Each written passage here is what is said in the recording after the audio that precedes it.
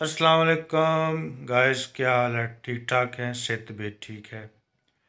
अच्छा मैं सोच रहा था कि जिस दिन आप कार वॉश करवाते हैं ना, उस दिन अंदाज़ा होता है कि कहाँ कहाँ से रोड ख़राब है और कहाँ कहाँ पानी खड़ा है।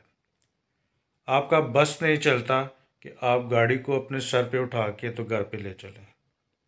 आप सिग्नल पे पहुँचते नहीं तो मांगने वाला आ जाता है।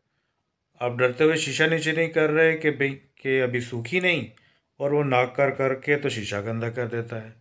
अब उसे कौन बताए कि भाई, अभी तो सात सौ रुपये लगा के सर्विस करवाई है? अब जैसे ही गली में पहुँचते हैं तो साथ वालों ने गली में पानी खड़ा कर रखा है। आज ही उन्होंने गली धोनी है। उसके बाद आप ऊपर से होके तो अपने घर पहुँचते हैं। तो साथ ही आपको पता चलता है कि बाहर तो बादल हो गए हैं। मौसम की सूरत हाल से आप जब फ्री होते हैं तो आप देखते हैं कि गाड़ी पे या तो बिल्ली आके बैठ गई है, या परिंदों ने अपना काम शुरू कर दिया है। सुकून किसी सूरत में नहीं है।